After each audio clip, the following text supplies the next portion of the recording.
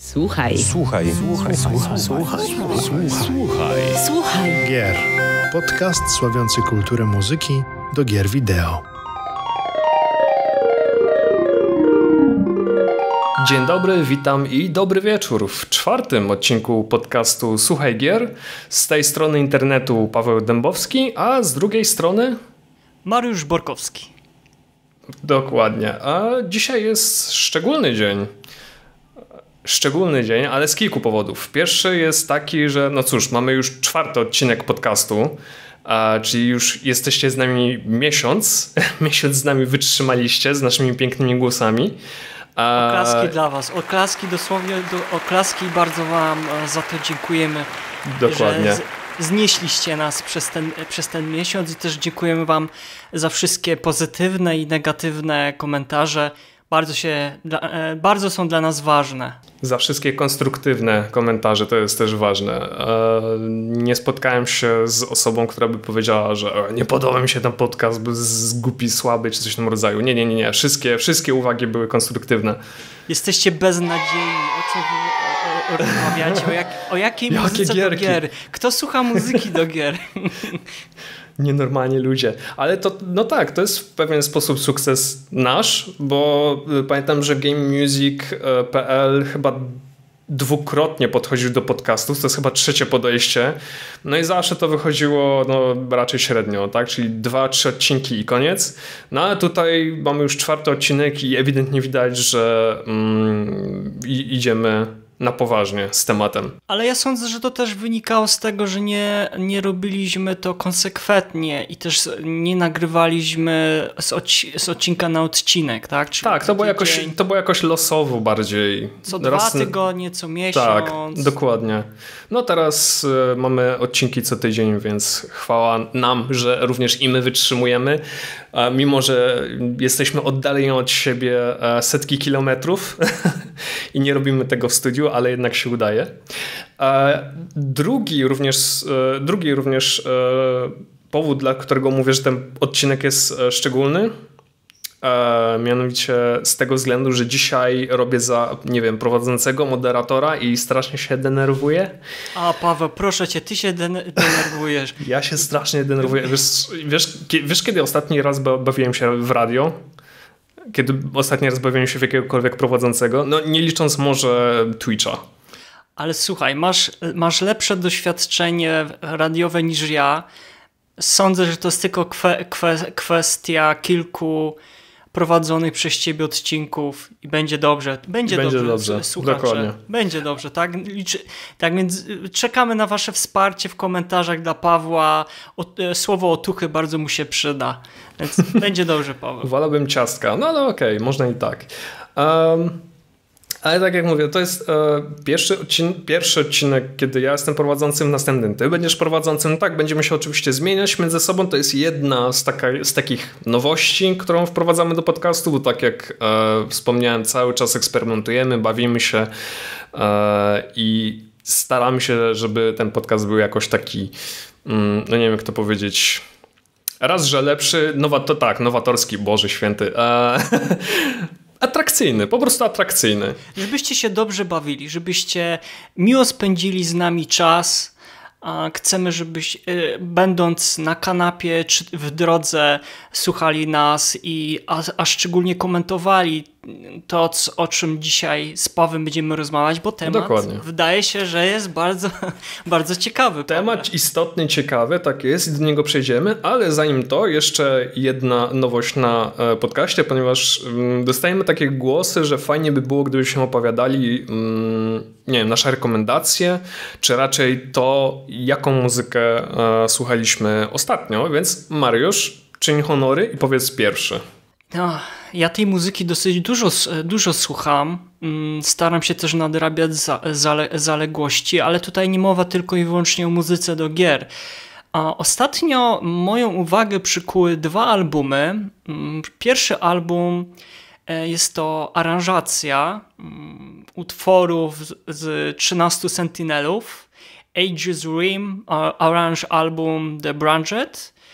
A to jest wydawnictwo Bassescape Records. Premiera płyty była 27 lutego, czyli raptem kilka dni, e, a czy kilka dni, chyba nawet niespełna dwa tygodnie temu.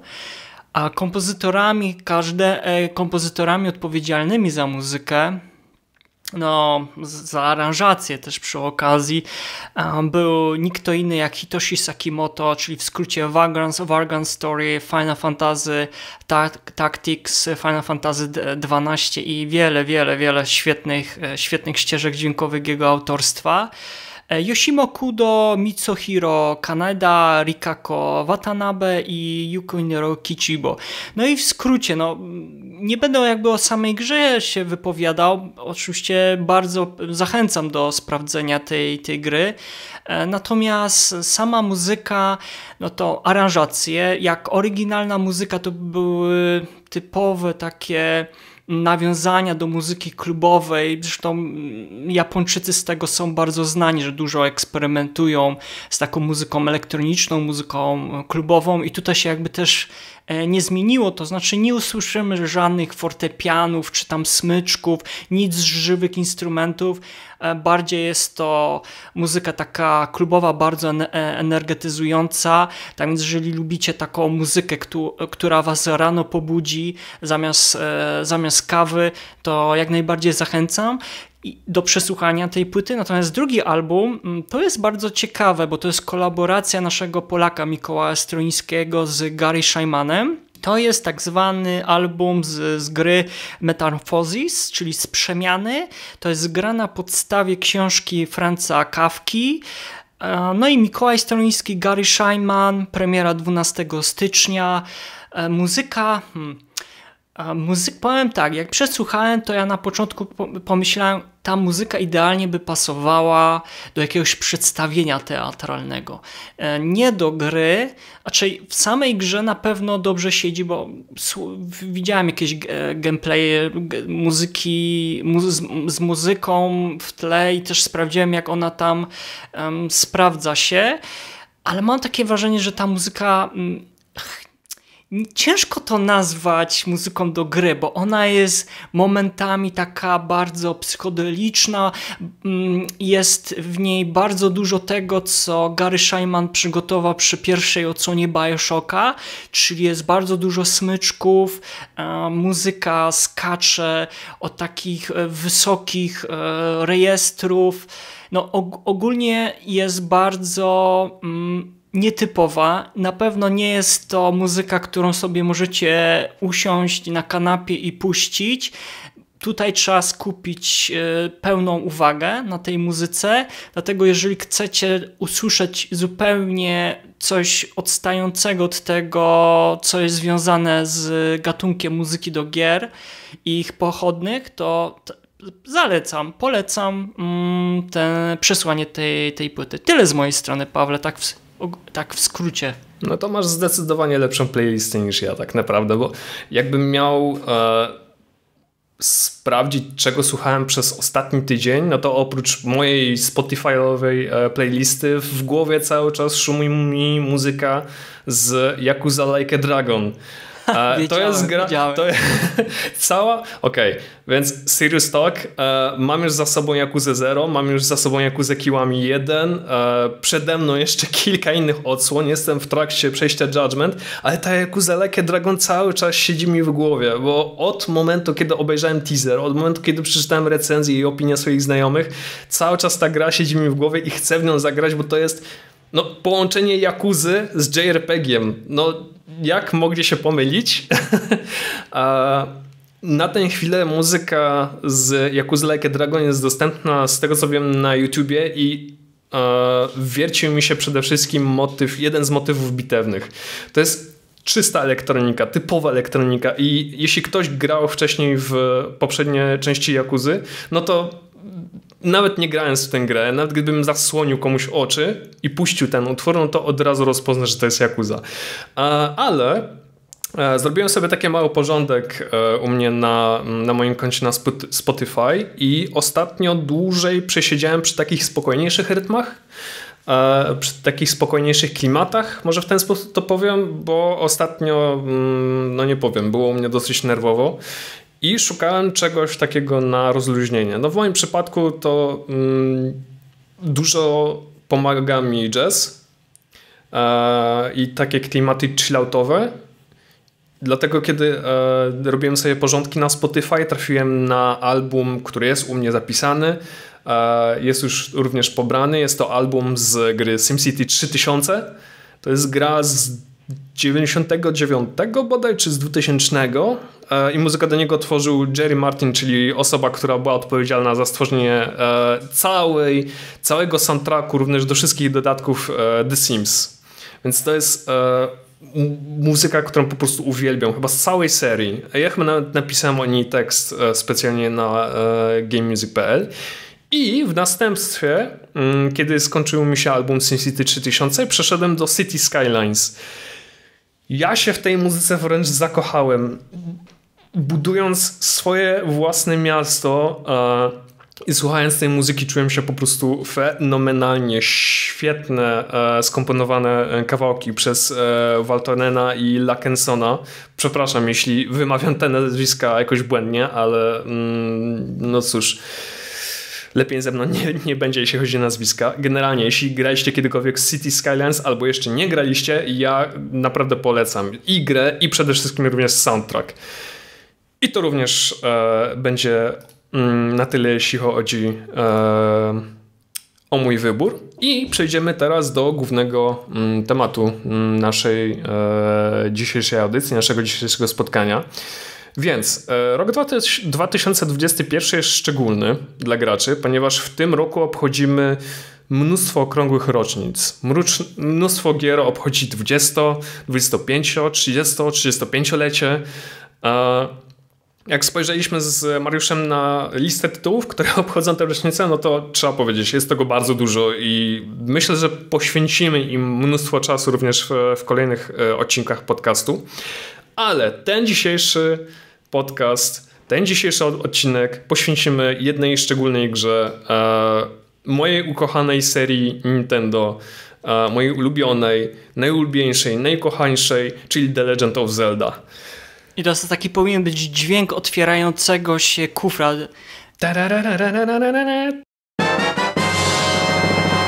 Tak, dokładnie. No nie będę, nie będę kłamał. To jest moja ulubiona seria, jeśli chodzi o jeśli chodzi o Nintendo, ale zapytam tak na rozgrzewkę, Mariusz, twój pierwszy kontakt z Zeldą. Kiedy, który e, tytuł? Bo u mnie, to, u mnie to jest bardzo pomieszane, więc e, wolę wypowiedzieć się na samym końcu. Cieszę się, że żyjemy w takich e, teraz czasach, że możemy świętować e, rocznice różnych ulubionych naszych serii. A szczególnie tutaj mowa o seriach wszelkiego rodzaju napisanych, e, zaprojektowanych przez studio Nintendo, włodarzy z Kyoto. I no Zelda, tak jak w, two, w twoim sercu, jak i w moim sercu, ma szczególne miejsce. Nie tylko jakby ze względu na, na, na muzykę, ale na, na same gry. Jeżeli chodzi o moje mm, pierwsze, nie wiem, pierwszy taki kontakt e, z grą The Legend of Zelda, to ja tak pomyśl, jak tworzyliśmy ten temat, to się zastanawiałem, która to gra była, bo na pewno to nie była pierwsza gra, ta pierwsza z 86. Ta na NESO. Mhm. Tak, 1986 to na pewno nie była ta gra. I no i później tak się jak już naprawdę sięgnąłem pamięcią, a no to przypomniałem sobie, jak mój brat e, przywiózł e, Nintendo Game Boya i mieliśmy tam kilka gier i w pewnym momencie pojawiła się gra The Legend of Zelda Link's Awakening. To jest o 90, Jezus. 1993 rok. Naprawdę, to była moja pierwsza Zelda, w jaką, w jaką e, z, z, zagrałem i no była tr cholernie trudna. Miałem problemy z przejściem tej gry. To jeszcze było tak, że nie było za bardzo żadnych solucji odnośnie gier, nie było magazynów, które by ci opisywały, a o internecie to można było zapomnieć. Znaczy sama Zelda była też dosyć specyficzna, bo jak e, jeśli ktokolwiek pamięta tą pierwszą Zeldę na Nintendo Entertainment System, czy na naszego Pegasusa, no to jeśli nie kupiłeś nie kupiłeś prenumeraty Nintendo Power, czyli tego oficjalnego magazynu Nintendo, gdzie miałeś całą solucję, całą mapę nawet do The Legend of Zelda, no to byłeś zagubiony, byłeś bardzo zagubiony, nie wiedziałeś gdzie te bomby podkładać i tak dalej. I ciebie akurat doskonale rozumiem, zwłaszcza, że my żyliśmy w takich czasach, kiedy no ten internet... Mm, najpierw go nie było, tak, najpierw go nie było, a później było, ale w takim bardzo ograniczonym zakresie, więc no doskonale cię rozumiem. No ale magazyn magazynem, ale pamiętaj jeszcze, że była infolinia, gdzie Jezus, na tak. z jakimś problemem. No, ale to są, to są rzeczy, które nas kompletnie ominęły. Tego, to już nawet nie chodzi o, Polsce, o Polskę, tylko w Europie czegoś takiego nie było. No, Nintendo, no nie wiedzieć czemu i też jakby nie, nie chciałbym tutaj rozdrapywać tego tematu.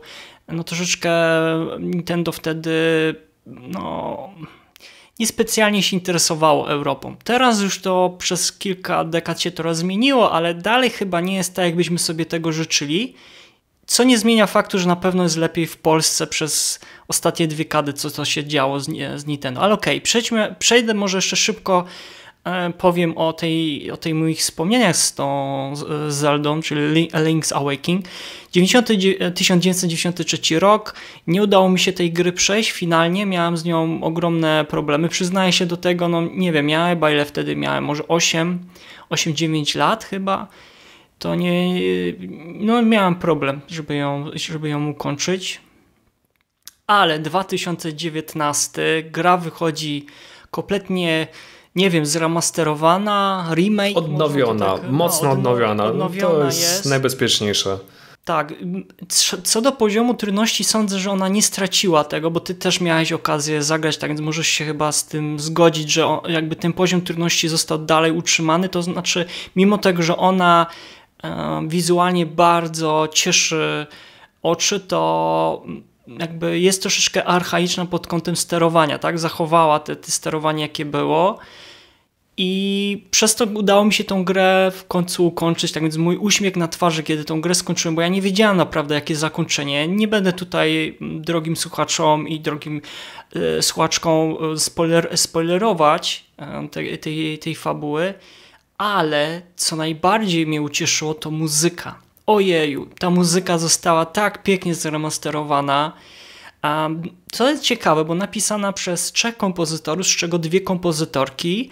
E, jednym kompozytorem był Kazumi Totaka, E, to jest osoba, która z Nintendo ma bardzo dużo wspólnego, bo od, zaczęła pracę przy Mario Paintie w 1992 roku. Dotychczas pracuje nad serią Animal Crossing, a Wii Sport, muzykę do Wii Sporta też przygotowała ta osoba, seria Luigi Mansion, Tetris i, i Dr. Mario. E, drugim kompozytorem, a zarazem kompozytorką była Minako Hamana. I ona jest szczególnie znana mm, z muzyki do cyklu gier z Metroid. Super Metroid, Metroid Prime, EOS. No, mógłbym tutaj jakby też e, dużo, dużo tutaj na ten temat powiedzieć. No i Kazuka Ishikawa, czyli kolejna kompozytorka. Ona z kolei e, miała okazję pracować przy Wario Land, e, Mario Land trójce, Star Foxie dwójce, Earthbound, twoje chyba bardzo też ulubiona ser, ser, ser, seria gier. Tak więc widać kiedy się słyszy tą, tą muzykę, to ona jest taka bardzo mm, bogata, jeżeli chodzi pod względem linii tych melodycznych. E, po, mm, wiesz, gra jest niby jest kolorowa, ale potrafi być momentami też e, mroczna i to, że na przykład został ten, czy sama gra została zremasterowana, E, I to też muzyka została poddana kompletnemu liftingu, to znaczy mamy nagrane żywe instrumenty, mamy wokalizy nagrane i to się tak pięknie słucha w grze i poza grą.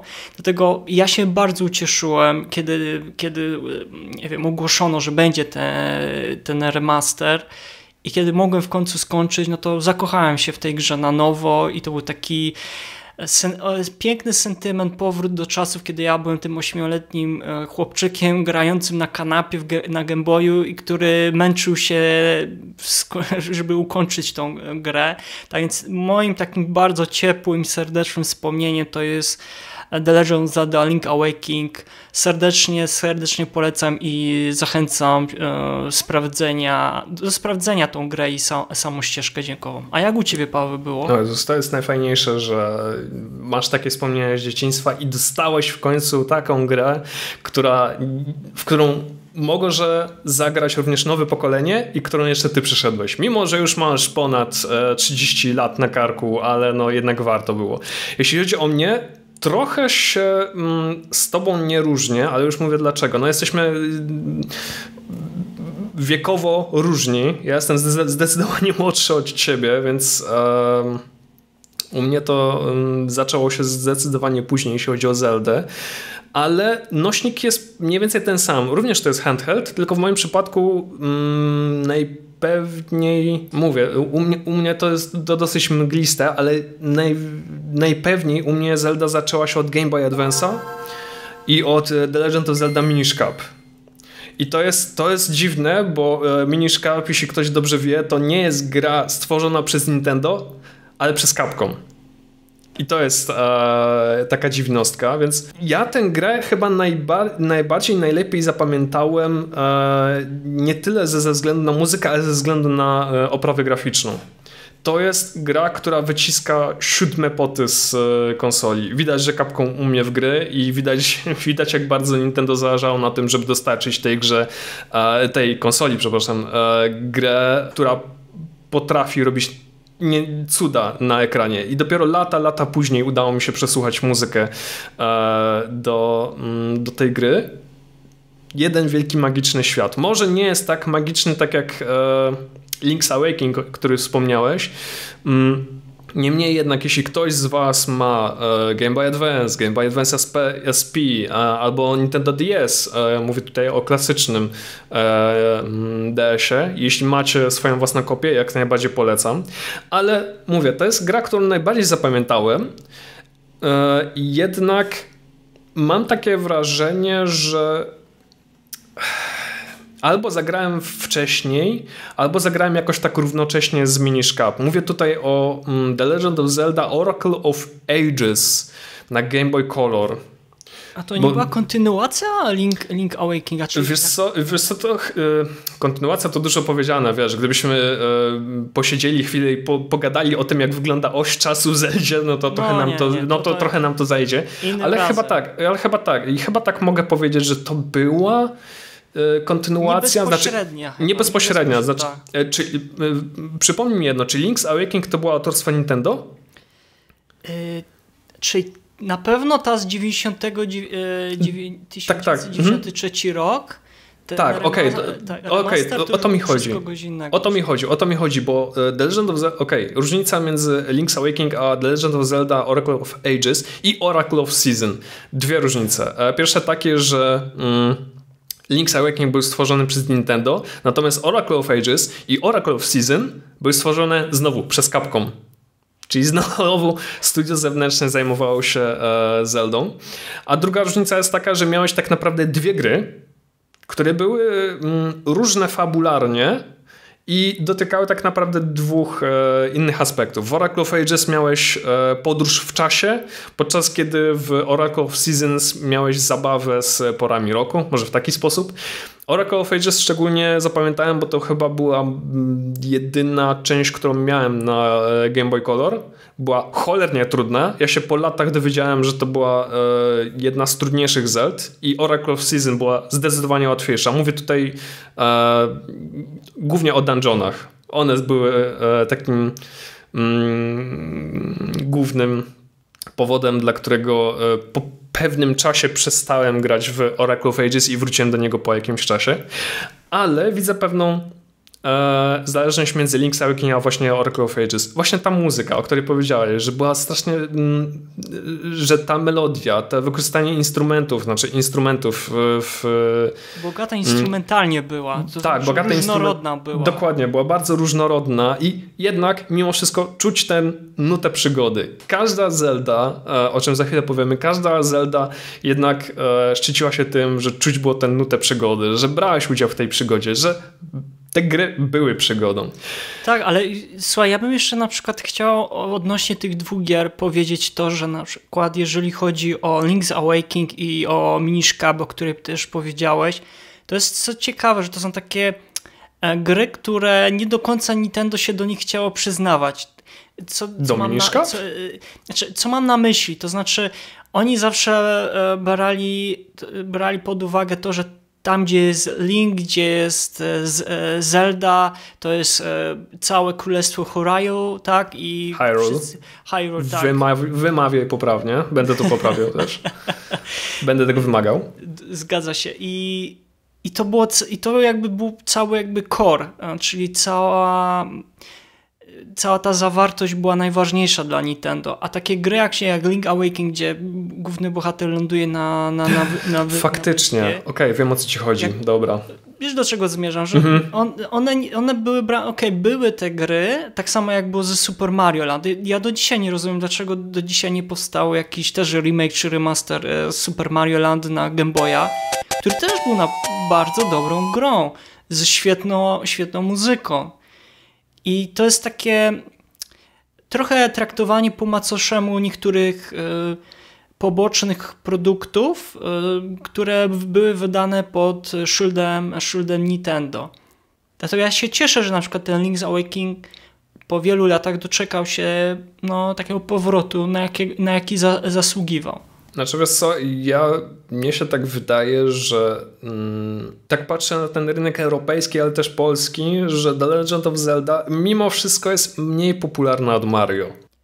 Mm, ale to zależy, ja, ja, gdzie, ja. Bo ja na przykład mam takie wrażenie, że jeżeli patrzymy na Stany Zjednoczone, to y, Zelda jest odrobinę bardziej popula popularna e, niż y, Mario. Mogę, się, mogę, mogę, mogę być w błędzie, ale nie wiem, mam takie wrażenie, patrząc na przykład na serię koncertów The Legend of Zelda, która, e, której trasa koncertowa panowała przez e, kilka, kilka lat, a jeżeli popatrzysz na, z kolei na Japonię, to w Japonii jest bardziej Mario. I chyba to, to jest taka zbieżność, a, że w Stanach jest bardziej The Legend of Zelda, ale to są jakieś tam niewie, niewielka różnica. Sądzę, że to jest nie, nie, nie, nie, niewielka różnica, Paweł. Ale okej, okay, może, może, może, Nie, nie poświęcajmy teraz na to czasu. Tak, dokładnie, bo mamy e, mało czasu, dużo rzeczy do przegadania. Właśnie. Mm, cofnijmy się, znaczy będziemy odbywać taką mam nadzieję, skróconą podróż, bo cała seria The Legend of Zelda jest potężna. Już nie mówię o sequelach, prequelach e, i różnych mm, odnogach z, e, serii, ale cała ta seria jest przedpotężna. No ale spróbujemy przebrnąć jakoś przez nie. Więc mamy The Legend of Zelda z z 86 roku, czyli ta pierwsza odsłona, która została wydana na mm, NES-a. Do niego muzykę stworzył legendarny Koji Kondo, czyli naczelny, jeden z naczelnych kompozytorów e, Nintendo. I tak to się zaczęło w sumie. Mieliśmy grę o małym zielonym człowieczku, który nagle ni z tego nizowego dostaje e, miecz i dostaje zadanie e, uwolnienie Hyrule od tyranii Ganona. I w sumie to tyle. Dobrze by było jeszcze też tutaj zaznaczyć dla osób, które nigdy nie miały do czynienia z grami pokroju Zelda, że autorem, czy autorami tej pierwszej odsłony The Legend of Zelda e, byli Shigeru Miyamoto i Takashi Tezuka. Tezuka, mhm, tak, dokładnie. I warto byłoby też dosłownie w kilku słowach powiedzieć, skąd ten pomysł był Miyamoto na The Legend of Zelda, skąd on jakby wykluł się, pamiętasz może? Yy, on to wielokrotnie mówi w wywiadach, że on wyjeżdżał na wakacje poza miasto i bardzo lubił e, odwiedzać tamtejsze jaskinie, e, tamtejsze pola i tak dalej. I jakoś przyszło mu do głowy, że fajnie by było zrobić właśnie mm, po latach dopiero przyszło mu do głowy, że fajnie by było zrobić właśnie taką grę, gdzie chodzi się po jaskiniach, walczy się z potworami. No taka typowa gra fantazy tak naprawdę. Czyli przenieść swoje marzenie z dzieciństwa na e, ekrany m, komputerów, no, czy raczej telewizorów, bo The Legend of Zelda to przede wszystkim m, gra na konsolę.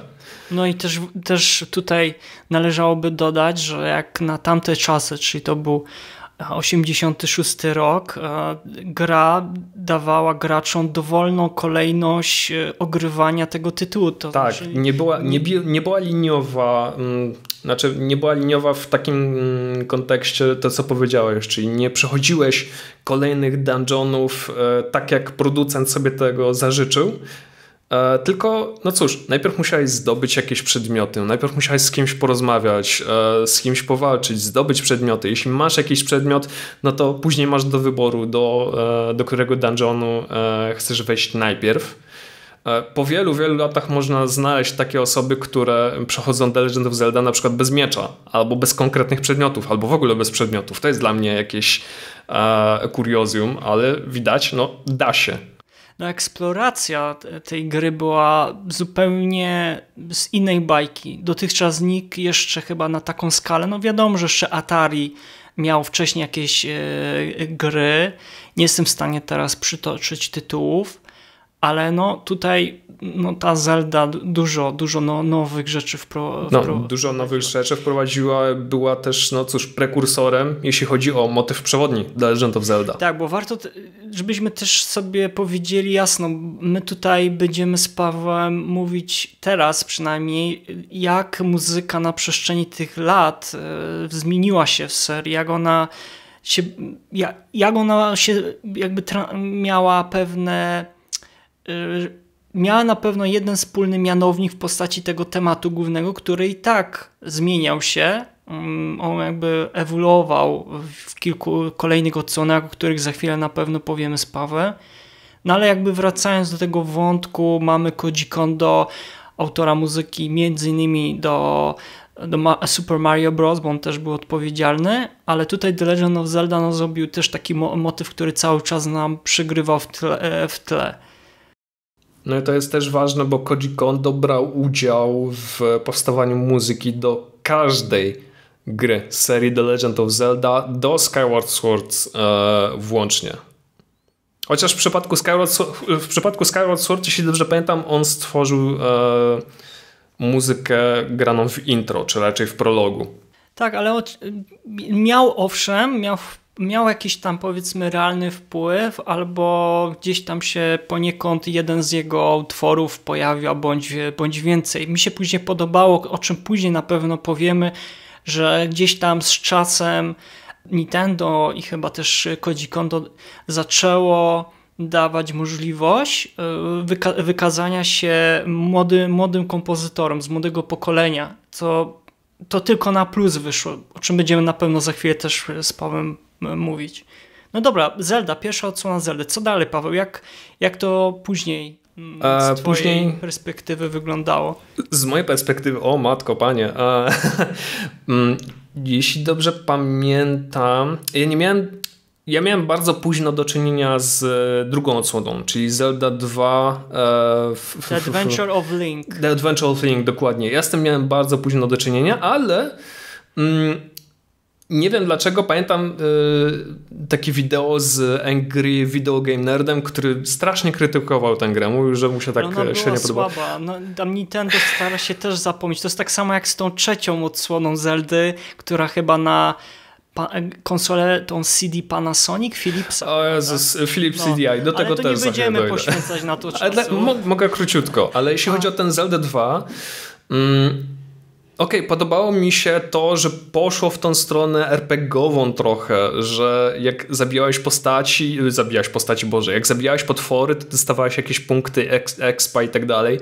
No wiesz, Podobnie tak jak było z Castlevania 2, mm, wiesz, nikt nie, przypuszczał, nikt nie przypuszczał tak naprawdę, że to będzie jakaś wielka seria i starano się to w jakiś sposób e, z tym eksperymentować, szukali mm, co z tym robić, e, czym się bawić, co jest fajne, co nie fajne i tak dalej. Ale jeśli chodzi o muzykę, to myślę, że w pewnym sensie jest ona porównywalna z jedynką, z jednym małym zastrzeżeniem. E, było jej zdecydowanie więcej.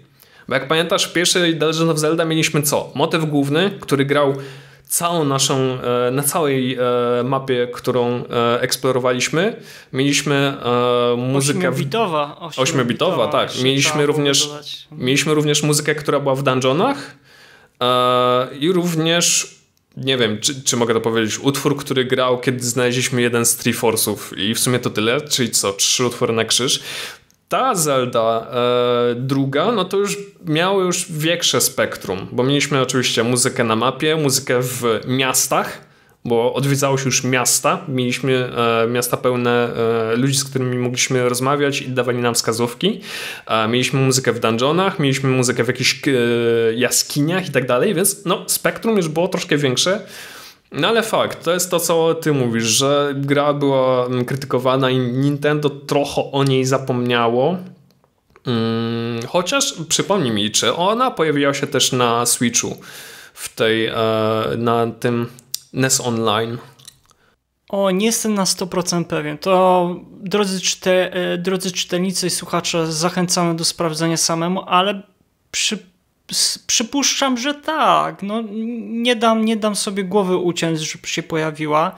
E, trzeba byłoby to e, sprawdzić, co nie zmienia faktu, czy jest sens a, sprawdzenia tej, tej gry.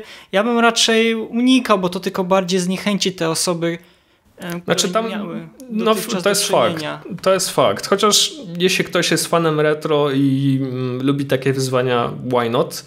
E, zwłaszcza, że tam pojawił się taki jeden dość kluczowy element, e, który pojawił się w późniejszej e, mm, odsłonie gry. No ale o tym mam nadzieję już za chwilę. Mm, kolejna część, Boże, muszę spojrzeć na swoją rozpiskę. To nie jest takie proste.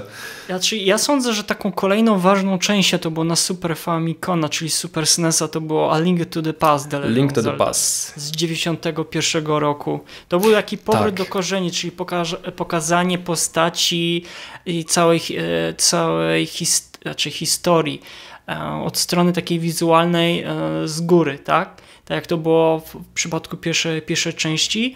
I chyba też muzycznie, no to tu już troszeczkę więcej mamy, tak? E, to jest 16, 16-bitowa to była konsola.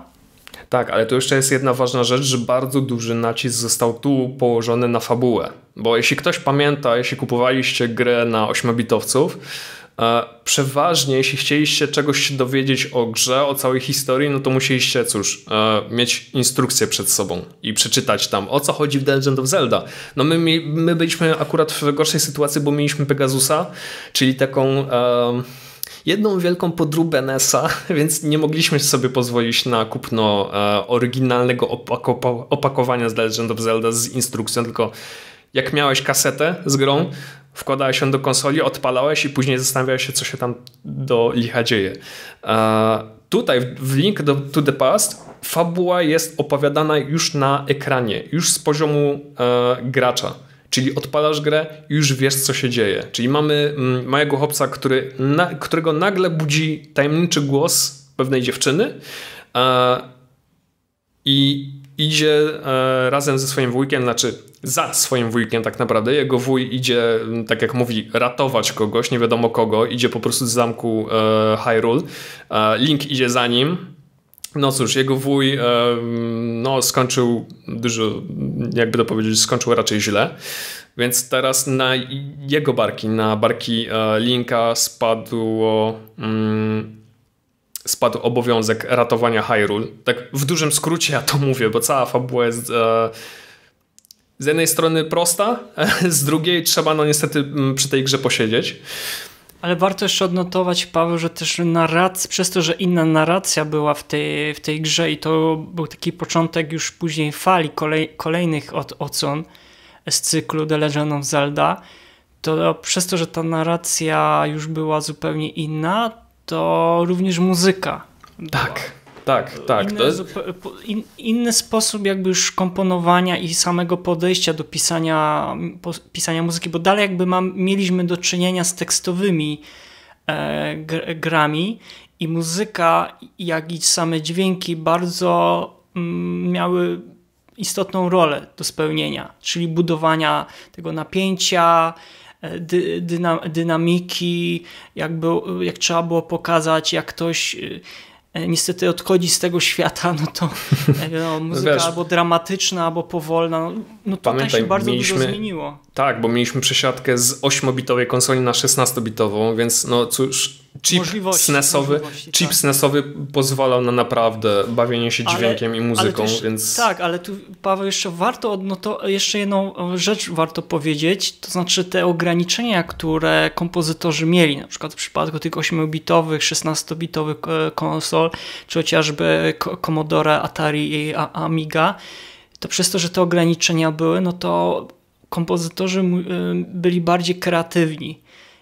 Ja zawsze do tego wracam, że przez to, że mamy te ograniczenia, to, to pozwala nam troszeczkę na mm, pobudzenie naszej bardziej takiej wewnętrznej kreatywności i, i poświęcenia jednak dubania takiego jednego utworu, co jakby najlepszym efektem i przykładem później są takie tematy muzyczne The, tak, The Legend no, of Zelda czy w dużym, Mario. w dużym skrócie, jak masz ograniczenia, no to musisz się mocno nagim, nagimnastykować, żeby dostać taki efekt, jaki chciałbyś dostać. No ale dzięki temu, że miałeś te ograniczenia, że pracowałeś na 8-bitowcach, mogłeś sobie później pozwolić na troszkę więcej.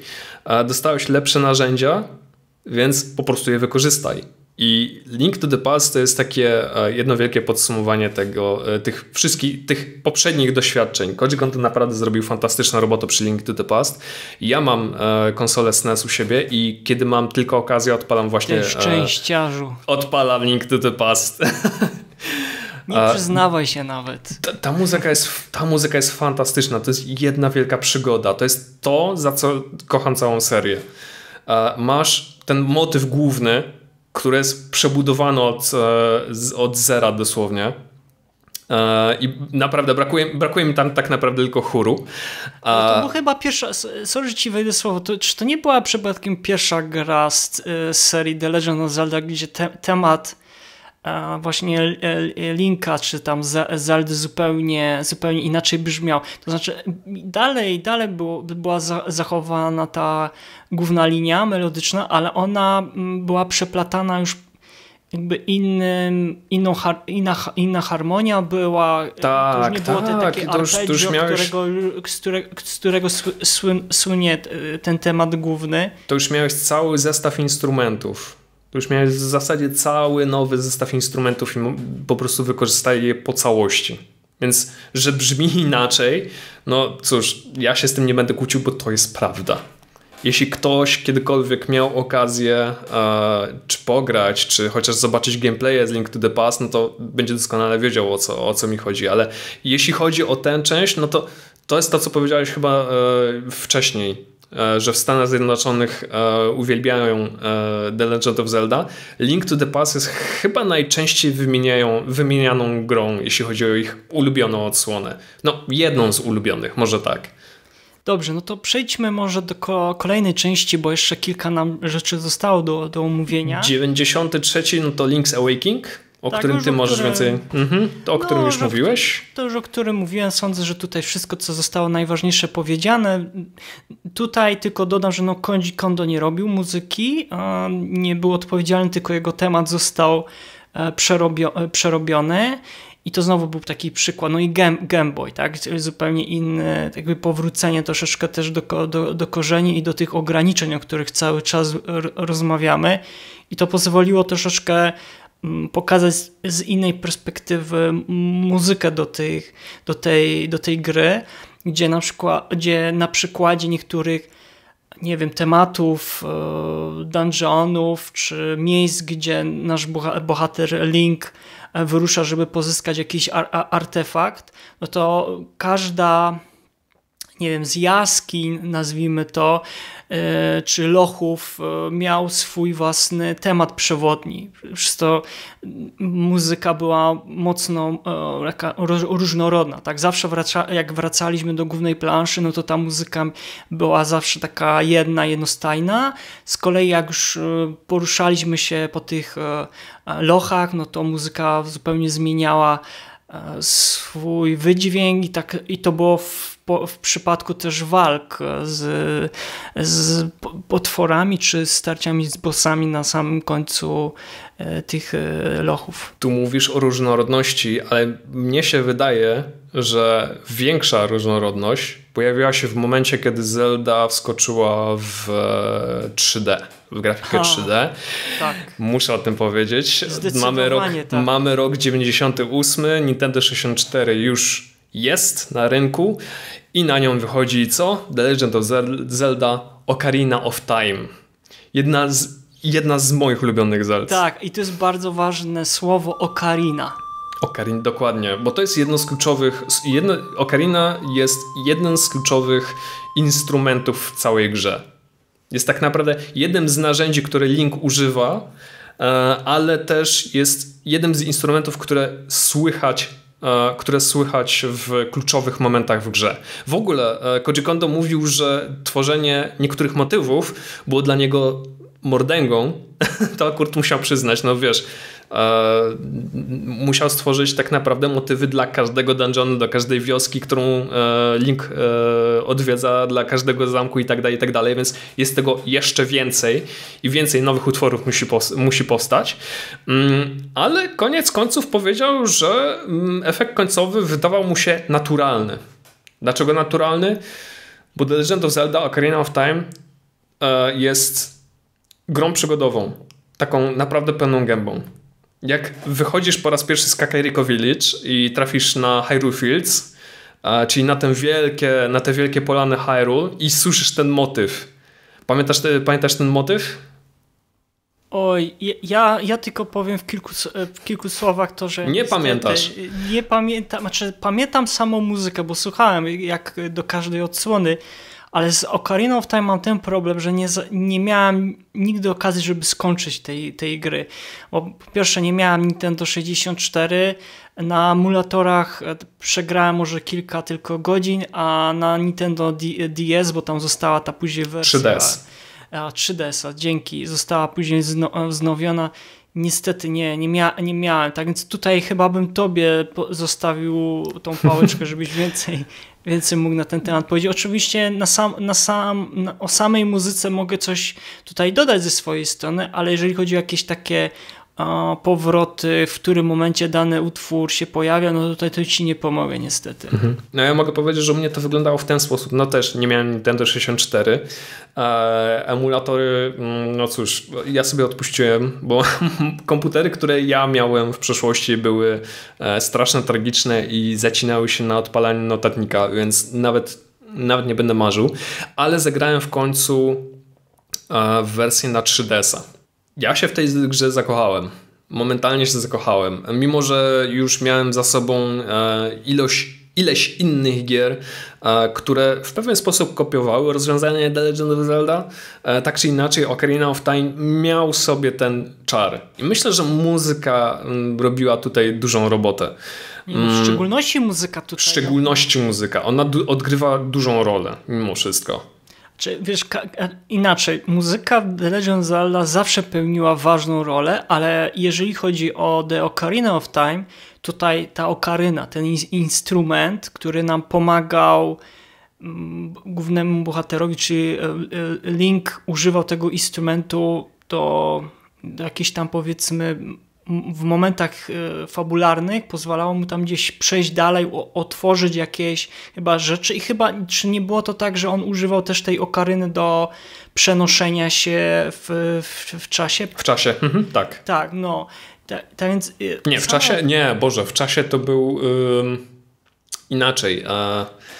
Znaczy to nie było tak, że on, bo on tam był tym dzieckiem, później był Tak, on był dzieckiem, to... później był dorosłym, ale mm, nie portal pamiętam może czy... mu poz pozwalał otwierać, nie chyba, wiem. Po, chyba portal, ch chyba portal, to musiał wrócić chyba do e, świątyni i tam e, zmienić się miejscami, ale Ocarina chyba miała, nie, Ocarina miała ch chyba w tym jakiś udział. Niewielki. E, przepraszamy Was, e, drodzy słuchacze, jeżeli tutaj wprowadzamy Was w błąd, e, ale tutaj chcielibyśmy się bardziej skupić na, na tym, jak ten instrument miał bardzo realny wpływ na samą ścieżkę dźwiękową, bo w trakcie gry utwory skomponowane głównie przez Koji Konto bardzo się wyróżniały na tle tego, co dotychczas napisał. Dokładnie. Co, co, co mamy dokładnie na myśli, że się bardzo wyróżniały to już mówiliśmy wielokrotnie, że albo e, muzyka do Legend Zelda była różnorodna pod kątem instrumentarium, e, czy miała, nie wiem, bardziej bogatą albo więcej linii, linii melodycznej i przez to była różnorodna. Tutaj sądzę, takiego, nie wiem, z punktu gr widzenia gracza, bądź nazwijmy to e, purysty e, muzycznego, bądź e, muzykologa, sądzę, że mm, sukces, sukces Ocarina of Time, jeżeli chodzi o samą, o samą muzykę, wynikał z tego, że po pierwsze, na pewno był ten przeskok sprzętowy, co pozwalało mm, zbliżyć się niektórym brzmieniom z gry do brzmieniu oryginalnego jakiegoś instrumentu. Nadal, nadal to nie były te, te takie instrumenty nagrane na, na, na, na, żywo. Ale jednak w porównaniu z tym, co oferowały 8 mm, i 16 bitówki, no była jednak duża różnica. Był duży skok technologiczny i to zrobiło serii dobrze. Był ogromny przeskok i pozwoliło ta imersja z grą w połączeniu z tą z muzyką była o wiele, o wiele, o wiele większa niż to dotychczas y, udało nam się zauważyć w, w przypadku poprzednich, y, poprzednich odsłon. No i też tematy, mnóstwo nowych tematów powstało. Przez to, że też gra była długa, to mnóstwo, dużo, dużo nowej muzyki powstało, bo zazwyczaj te poprzednie, poprzednie gry trochę czerpały od, poprze od swojego jakiegoś tam pierwowzoru i zawsze gdzieś tam gracze słyszeli ten sam utwór, tylko w nowej aranżacji, a tu pojawiły się naprawdę nowe, nowe, nowe utwory, które do dzisiaj stały się, no nie wiem, mm, zapisały się chyba w historii jako e, nie wiem, utwór. Nadal są, utwór, nadal są bardzo, wpływ, nadal tak? są bar, tak, miał bardzo duży wpływ, nadal są bardzo znane, nadal ludzie nucą je sobie pod nosem.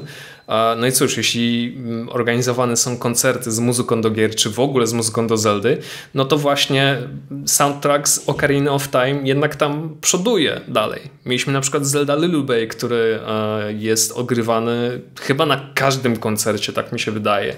No i właśnie na mm, wspomnianej Okarinie. O matko, o Ocarina of Time będziemy pewnie mówić kiedyś e, dłużej. O warto, bo zdecydowanie. Zdecydowanie tak. warto. Mm, przejdę dalej do mm, kolejnego tytułu, który pojawił się dwa lata później na tej samej konsoli, na tym samym silniku, co jest akurat e, mm, trochę dziwne, ale cóż, powstała gra, którą wszyscy również dobrze pamiętają. Jest to Majora's Mask.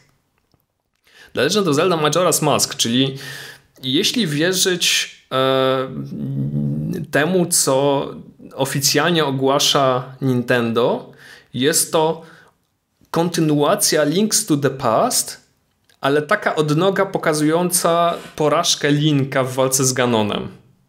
Jeśli się nie mylę, nie mam niestety tej e, osi czasu przed sobą, ale wydaje mi się, że właśnie tak to wygląda. Co w ogóle rozwaliło mój mózg ja myślałem, że Majora's Mask jest oficjalną kontynuacją Ocarina of Time, e, no tylko tak, mm, cóż, od tej gorszej, złej strony, tak? Czyli Link na przykład, nie wiem, umiera w walce z Ganonem, nie udaje się mu e, um, uchronić Hyrule przed złem i trafia do czegoś, co mógłbym nazwać czyśćca, to może, może za bardzo e, wybiegam z interpretacją, ale fakt, The Legend of Zelda Majora's Mask było grą no cóż, zdecydowanie bardziej mroczną od Ocarina of Time.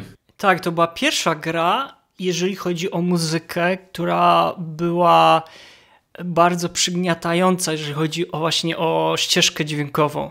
Była mega mroczna. E, tutaj kompozytor no, miał jak zazwyczaj, wiecie, The Legend of Zelda czy tam Super Mario, ogólnie jak się mówi o grach Nintendo, no to to są takie gry kolorowe. Tak, w ogóle, w, ogóle możemy, w ogóle możemy spojrzeć na Ocarina of Time, gdzie skupiono się na e, wypełnianiu ścieżki dźwiękowej, wiesz, melodiami rozdem z filmu fantazy, wiesz, to co mówisz, że jest kolorowo, wesoło i przygoda, no nie? A, A Majora's Mask mroczna, tak. ponura atmosfera, człowiek Niepokój, ogólny taki bezsens podejmowania jakichkolwiek e, działań, co ma akurat sens, e, jeśli chodzi o fabułę i taka w ogóle depresja to było, jak pierwszy raz usłyszałem muzykę do tej gry i dopiero później zagrałem w grę na 3DS-a, ja byłem w lekkim szoku i sam byłem trochę w niepokoju. No to drogie słuchaczki i drodzy słuchacze, jeżeli szukacie depresyjnej muzyki, zachęcamy sięgnąć po muzy e, muzykę z The Legend Zelda, Zelda Majora Mask. Tak. Ja, mogę, ja mogę jedynie polecić swój tekst, um, który napisałem na gamemusic.pl właśnie o Majora's Mask Um, no bo co mogę innego powiedzieć? Wiesz, biorąc pod uwagę samą fabułę, e, sam świat, w którym Link się pojawił nagle, nie wiadomo skąd, bo nie wiem, czy pamiętasz intro do tej gry. To wyglądało w ten sposób. Średnio, średnio. To wyglądało w ten sposób, że Link po prostu jedzie jedzie, siedzi po prostu na koniu. Galopuje, galopuje. Nie, nie, nie, nie, nie, to jest coś zupełnie innego. On galopuje w Ocarina of Time. Tutaj jedzie na tym koniu mega spokojnie, jest pochylony do przodu, jakby nie wiem, był e, załamany czymś i jedzie przez las, który jest ciemny, jest mroczny, jest mglisty. Ja w życiu nie, nie myślałem, że kiedykolwiek zobaczę The Legend of Zelda w takim, e, w takim nastroju utrzymanym. No to, żeby przejść do muzyka robi, muzyka robi, muzyka robi, robi grubą rzecz, jeśli chodzi o tę grę. To może przejdźmy teraz, odcinając się troszeczkę od tych negatywnych emocji mu muzyki, to e, przejdźmy może teraz... Oracle kolej... Season i Oracle of Ages e, pominę, bo tak jak mówię, jest to gra stworzona przez Capcom, ale również polecam. Myślę, że bardziej Oracle of Season będzie łatwiejszy do przetrawienia dla nowych graczy, a Oracle of Ages, no jeśli ktoś lubi wyzwania. Ale, no to, Force Words myślę, że też można mm, pominąć, bo to jest jakby kontynuacja The Legend of Zelda Minish Cap, tylko dla czterech graczy, no to też mogę w jakiś sposób pominąć. To dobra, przejdziemy do twojej ulubionej Zeldy. Bądźmy szczerzy. Rok 2002 na rynku pojawił się Nintendo GameCube i pojawiła się na tej konsoli The Legend of Zelda Wind Waker. Co ja mogę dodać? O tak, tak, dosło, dosło, dosłownie o tak. Jest, e, muzy choć muzyka trochę przypomina, e, nie wiem... Mm, Ale ty o samej grze najpierw powiedz. Aha, mam, jedną mam jedną ciekawostkę, ale to no, zostawię... Słuchaj, to, to, tak? może ty zacznij, zacznij opowiadać o samej grze, a ja później tylko e, dopowiem, jeżeli chodzi o, samo, o, samo, o samą muzykę. Okay. Jeśli ktoś pamięta, jak wygląda The Legend of Zelda Wind Waker, to jest taka bardzo kolorowa, naprawdę bardzo kolorowa, aż zęby bolą. E, style shadingowa grafika, mm, bardzo kreskówkowa. I Sporo graczy miało chyba e, za złe Nintendo. Bo wkurzeni byli. Oni nie, byli, bo... oni nie mieli za złe, oni byli wkurzeni, bo był, był pokazany. Moment, tak. tak, był pokazany na którychś chyba targach e, jakiś film ukazujący The Legend of Zelda, które miało się, miało się pokazać na e, GameCube'a. I ludzie zobaczyli to wideo i, i, i wyglądał to, umie tak, wideo e, pokazywało rozgrywkę z gry, która przypominała mm, późniejsze e, Twilight Princess, o którym e, również powiemy. I ludzie byli zachwyceni, tak, że zobaczą nową Zeldę na GameCube'a, świetnie, bierzemy to. I nagle ludzie dostają to, czyli Wind Wakera, czyli e, małego chłopca, który jedzie, so, płynie sobie łódką przez... Małego e, linka. Tak, małego linka, małego linka. który płynie sobie łódeczką przez szerokie wody. Ludzie byli wkurzeni. Ludzie byli wkurzeni, bo oczekiwali dojrzałej produkcji, bo to, co pokazali na targach, to rzeczywiście wyglądało jak coś e, poważnego, dojrzałego i w ogóle mm, masywnego i, no cóż, zaawansowanego, jeśli chodzi o oprawę, a dostali, no, no, jednego wielkiego lukrowanego cukiereczka, by to nazwać. O, ale ten cukiereczek okazał się bardzo smaczny, szczególnie jeżeli chodzi o, o nadzienie w postaci Fantastyczny, muzyki. tak. To akurat trzeba przyznać. Mów o muzyce. Ty możesz więcej powiedzieć. Ja ci Ojej, daję no, głos. No, słuchajcie, bardzo ważna rzecz to, że Link podróżuje na e, w Łodzi i na statku swoim takim małym i podróżuje z wyspy na wyspę, no to tam motyw podróży na statku no jest słowo monumentalny, epicki, no tutaj nie pa, i inne epitety raczej tutaj nie pasują. Sądzę, że ta e, muzyka nadała troszeczkę nowy wydźwięk, jeżeli chodzi o słowo przygoda. Czuję się, e, że się bierze udział w jakiejś e, przygodzie. Ona jest zarazem taka, ta melodia motywująca, słucha się taka zwienna spokojnie. Zwłaszcza, zwłaszcza to słuchać w momencie, kiedy płyniesz łódką. To jest przecudowne. Jeśli płyniecie łódką, wiatr was niesie i no, słychać ten motyw. Musimy puścić ewidentnie ten motyw, chociaż kawałeczek.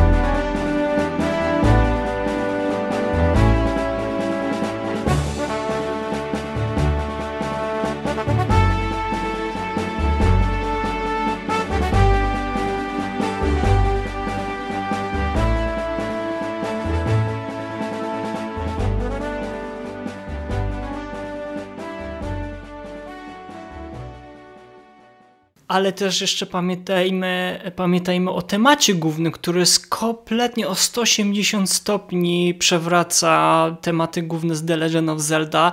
To jest takie bardzo taka wyspiarska, nie chcę użyć słowa irlandzka muzyka, bardziej troszkę szanty. Tro, troszkę, o właśnie, szanty, trochę tropikalna taka tropikalna. W każdym razie te, ta stylistyka na pewno twórców e, mu, muzyki zainspirowała, bo to było, było, było dokładnie trzech kompozytorów, tutaj też między innymi Koji Kondo, Hajime Wakai i Kenta Nagata. Było trzech kompozytorów głównych odpowiedzialnych za napisanie muzyki e, The, The, The Legend of Zelda Wind Waker. Dobra, no, no to co? No i gra po, pojawiła się nie tylko na GameCube, ale również na e, Wii U i liczymy na to, że z okazji tak. 35-lecia pojawi się również kolejne wydanie na Switcha. Nintendo. Koniecznie. Panie Nintendo, pan robi robotę, no. My tu nie po prostu czekamy. nie ma innej opcji, musi się pojawić. No, tu ominęliśmy, jasne, tu ominęliśmy e, jedną rzecz, mianowicie o e, te, te części The Legend of Zelda, do których e, Nintendo się nie przyznaje, czyli e, te z konsoli Philips CDI.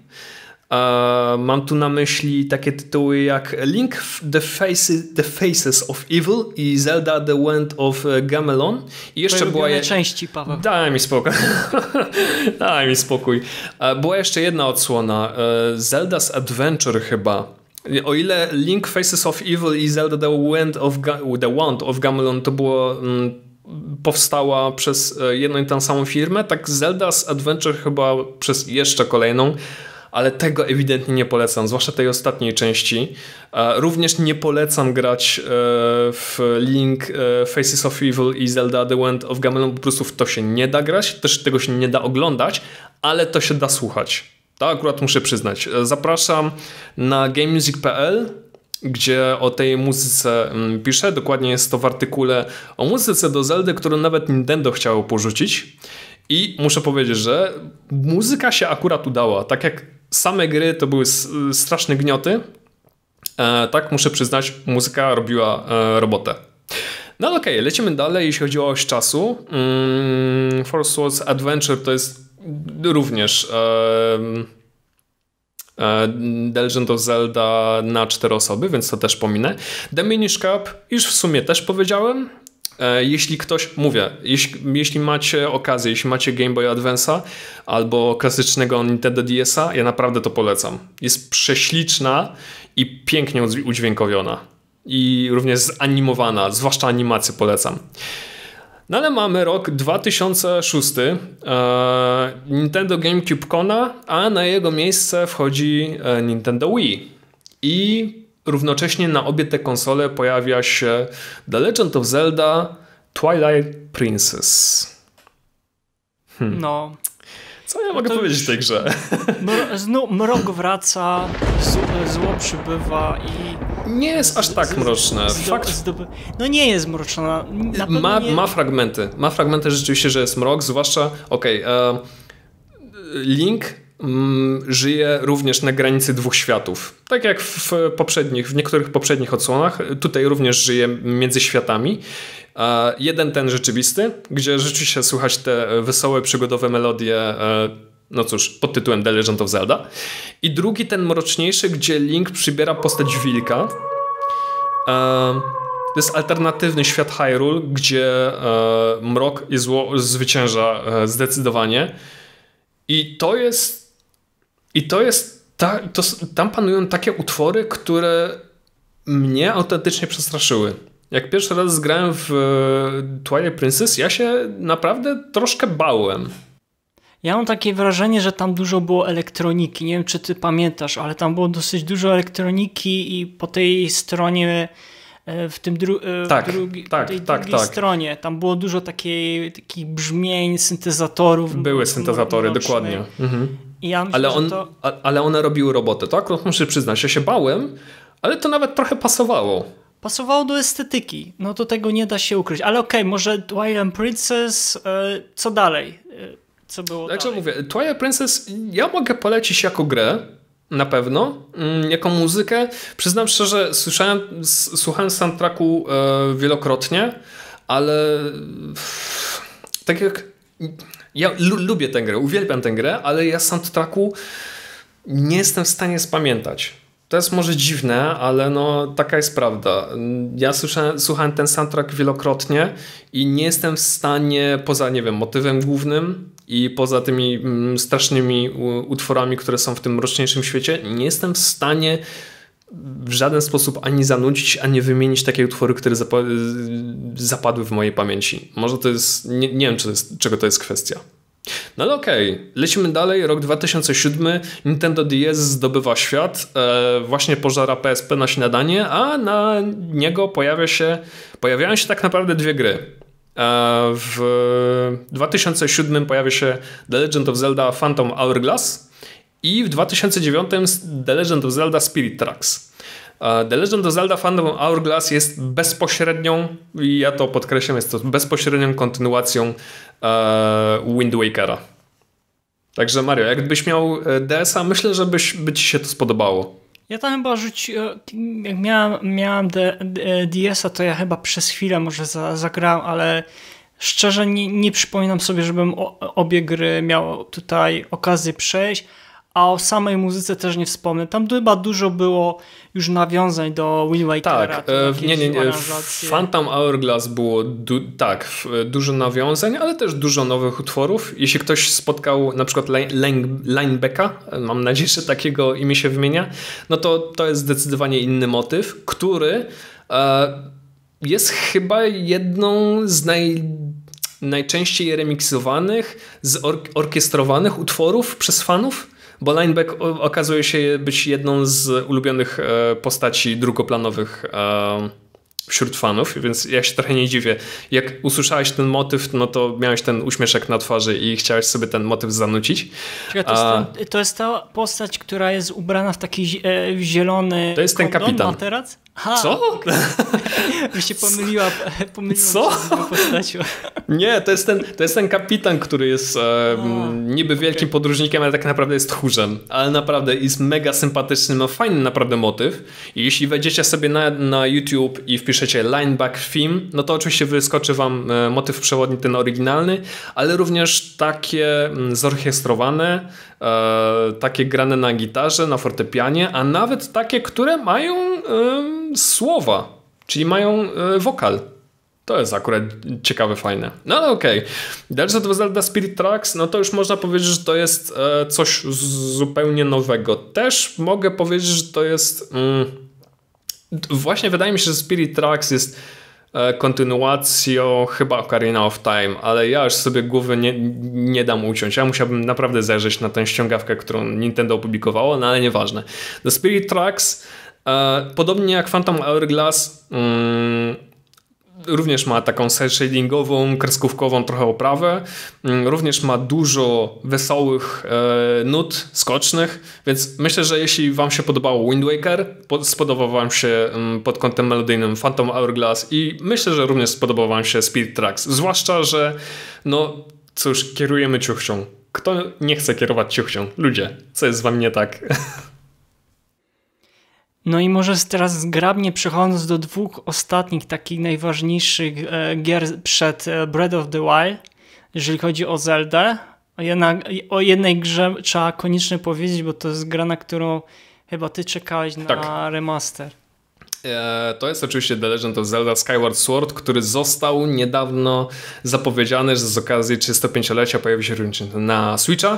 Ja jestem mega zadowolony, bo to była jedna z fajniejszych gier na Wii. E, w ogóle to w przeciwieństwie do Twilight Princess Skyward Sword był tworzony bezpośrednio dla Wii i to widać po sterowaniu, które było trochę upierdliwe. Ja nie będę mówił, że nie, e, ale no cóż, mnie się ta gra po prostu podobała. Co ja mogę powiedzieć? W ogóle to jest prequel. To jest ważne. To jest prequel e, chyba... Wszystkiego. Wszystkiego, dokładnie. Bo tam dopiero świat Hyrule się tworzy Link dopiero, no cóż, uczy się bycia Linkiem i chyba nawet nie było mm, tej... E, była postać Zeldy, ale nie była pokazana, wiesz, jako księżniczka w opałach. No i muzycznie było bardzo heroicznie, znowu mamy tak. kolorowo, czyli jeżeli chodzi o no tutaj już były instrumenty nagrane, orkiestra była, była nagrana, szczególnie temat, temat, temat główny jest bardzo taki heroiczny, bym tutaj chyba e, Heroiczny i mała ciekawostka, to jest Zelda Lulubej grana od tyłu. No. Dobrze, Pawle, może, bo też czas nas goni, a dobrze by było też kilka słów powiedzieć o naszej takiej trójce świętej, jeżeli chodzi o, o, o muzykę do The Legend of Zelda. To co, Breath of the Wild w takim razie, Breath tak? of the Wild, oj tak. tak. To Paweł, bo ty pisałeś e, recenzję, to może ty za, e, zacznij. Pisałem przepotężną recenzję, to Oj, tak. chyba... Y, poza Final Fantasy XV wydaje mi się, że to była najdłuższa, najbardziej męcząca recenzja, jaką napisałem. No to jakbyś ale... miał, to jakbyś miał powiedzieć, jak ta muzyka jak bardzo się różniła już od tych poprzednich odsłon? Wiesz co, powiem to tak. Cała gra zmieniła się.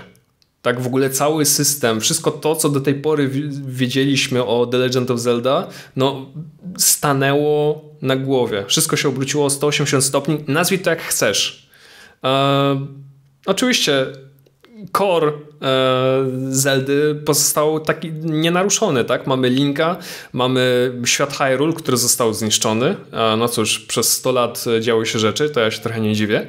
E, mamy Ganona, którego trzeba oczywiście mm, pokonać, no i mamy Zeldę, którą trzeba uratować. Jasna sprawa.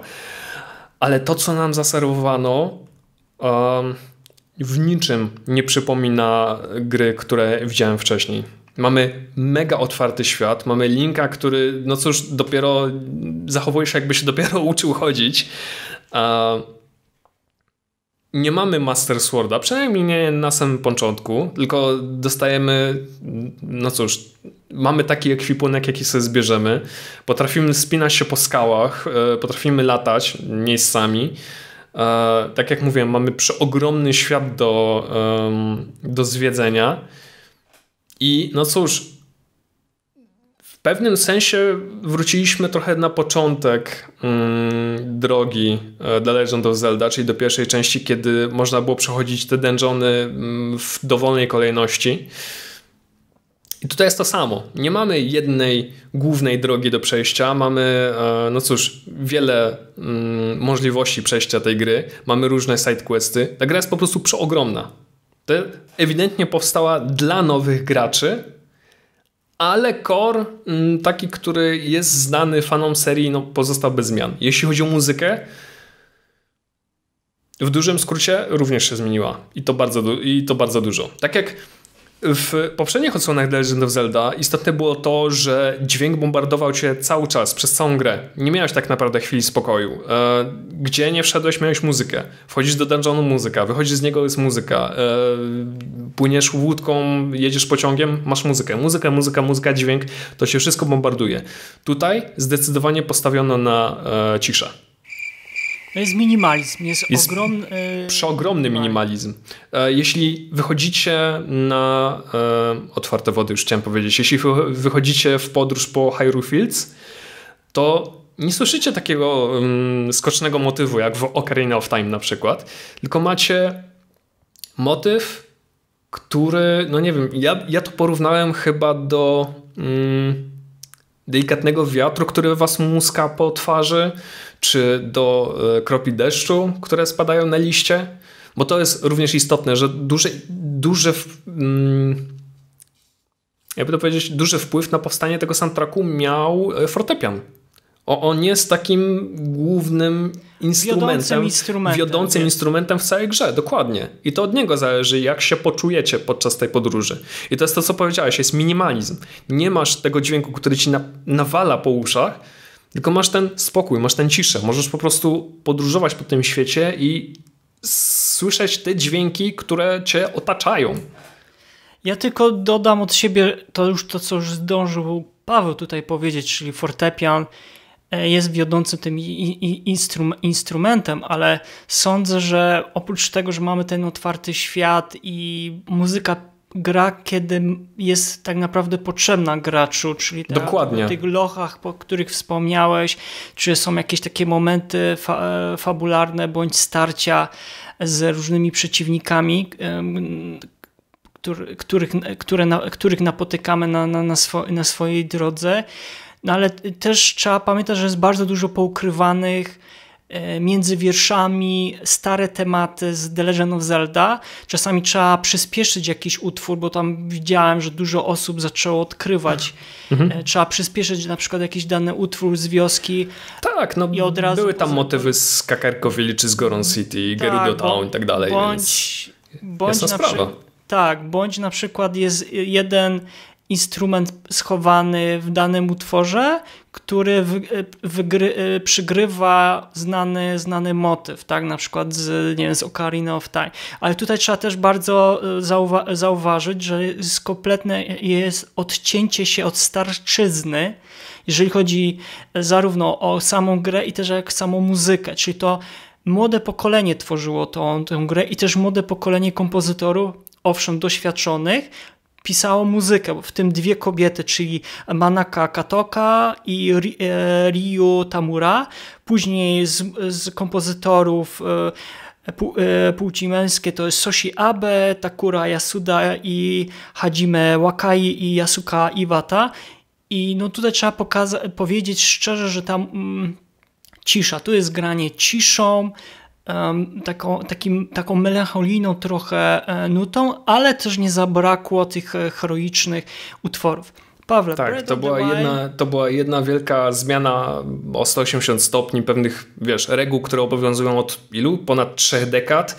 No to wymagało dużego pomyślunku, wyrzeczeń i świadomości, że są takie osoby, e, fani, którzy no, byli przywiązani do dotychczasowych zasad i mogą te zmiany po prostu odrzucić, ale zaryzykowali i powstał chyba najlepszy soundtrack tak, z całej ja się... serii ja się też po tym podpisuję. Niektórzy powiedzą, ale jak to? Przecież tam nie ma jakichś takich znanych melodii. Nie, nie, no są, tylko są poukrywane, ale pierwszy raz dostajemy na wysokim poziomie tak przygotowaną ścieżkę dźwiękową. Zresztą też widać, że sama gra i sama muzyka e, jest troszeczkę przygotowana pod zachodniego gracza. I jakby włodarze z Kyoto też nie zapomnieli o swoich wiernych fanach e, w, w Kyoto, w Japonii. I, ta, I też jest ta, ta, taka muzyka, która stylistyką muzyczną przypomina nam o poprzednich odsłonach The Legend of Zelda. No i zbliżający się teraz The Legend of Zelda e, kolejnej części, o której może z Pawłem powiemy im będzie bliżej premiery. Paweł, może na sam koniec, bo już tak powoli zbliżamy się, już praktycznie mamy koniec za rogiem, może chciałbyś w kilku słowach jeszcze powiedzieć o trzech swoich takich y, albumach, które no, są dla ciebie Mm, taką podstawą, podstawą najlepszych odsłon pod kątem muzyki, jeżeli chodzi o serię The Legend of Zelda, to które to no to, byłyby No cóż, jeśli chodzi o moje top 3, no to na pierwszym, na pierwszym miejscu no, zaskoczenia nie będzie. Będzie to, oczywiście Breath of, the, Breath of the Wild i tutaj nie muszę niczego dodawać. To jest e, gra, która no zachęcić do siebie i starego, i nowego gracza. A jeśli chodzi o soundtrack, no ja się w tej muzyce po prostu zakochałem. I, i, i inaczej nie będę mówił. Jeśli chodzi o drugie miejsce, Exequo stawiłbym tutaj Ocarina of Time i Majora's Mask bo e, Ocarina of, bo to, to są tak naprawdę dwie strony tego samego medalu. Mamy przygodę i w jednym i w drugim, ale i jedna i druga gra mm, podchodzi do tego zdecydowanie inaczej. Z jednej strony mamy mm, wesołą podróż, a z drugiej no troszkę mm, bardziej, nie wiem, melancholijną, może trochę bardziej przygnębiającą.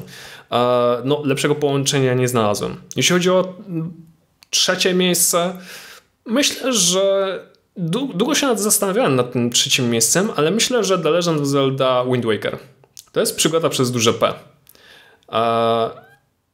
I nie wiem, co jeszcze mogę powiedzieć na ten temat. No a co, a jeśli, jeśli chodzi o, o ciebie, Mariusz? No jest kilka tych soundtracków i ciężko, e, szkoda niektó e, nie, o niektórych nie powiedzieć, ale gdybyśmy faktycznie mieli z Pawem wybrać taką świętą trójcę, no to to jest nasza święta trójca.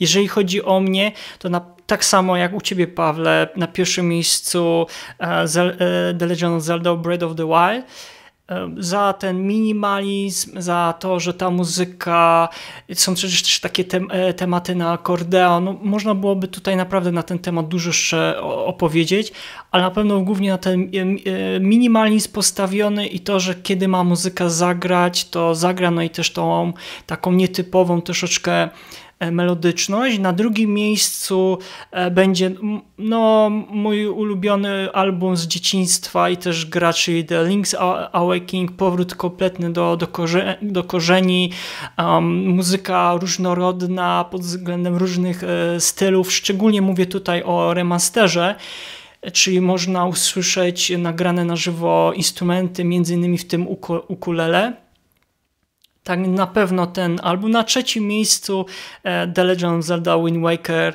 za tą taką muzykę swawolną, e, przypominającą mi momentami e, szanty, takie portowe nawet mm, klimaty. Tak więc to jest moja jakby święta trójca.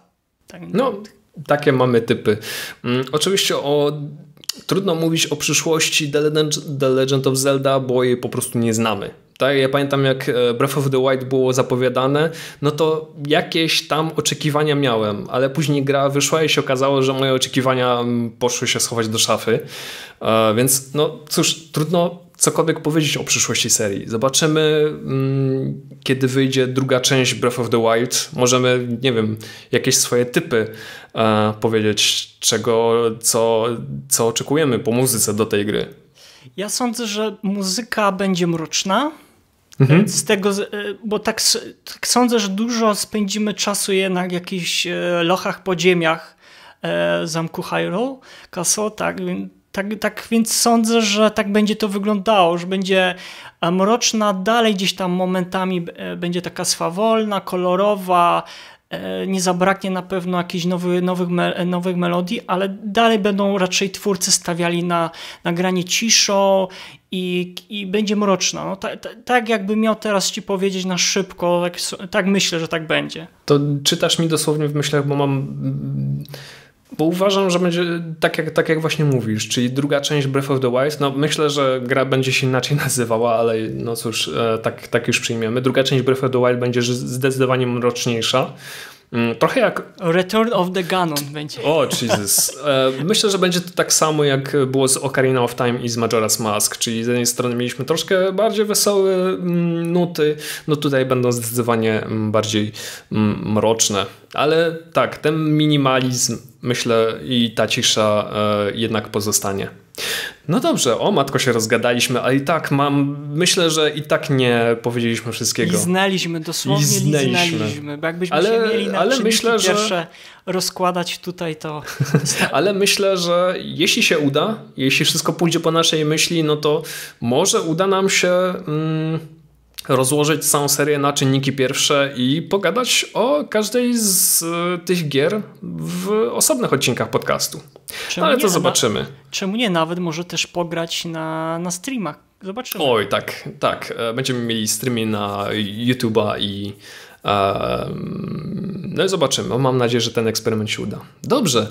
Moi drodzy, moi kochani, bardzo dziękujemy za to, że z nami byliście. To był czwarty odcinek podcastu Słuchaj Gier. Z tej strony mm, mówił do Was Paweł Dębowski i Mariusz Borkowski i serdecznie Was zachęcamy do subskrybowania nas na Spotify, Apple Podcast, a także na, na YouTubie i do komentowania komentarz, czy to będzie negatywny, pozytywny, bardzo, bardzo będziemy Wam za to wdzięczni. Tak więc skłaniamy się w pas i jeszcze raz dziękujemy. Do usłyszenia. Dziękujemy. Do usłyszenia. Słuchaj. Słuchaj. Słuchaj. Słuchaj. Słuchaj. Słuchaj. Słuchaj. Gier. Podcast sławiący kulturę muzyki do gier wideo.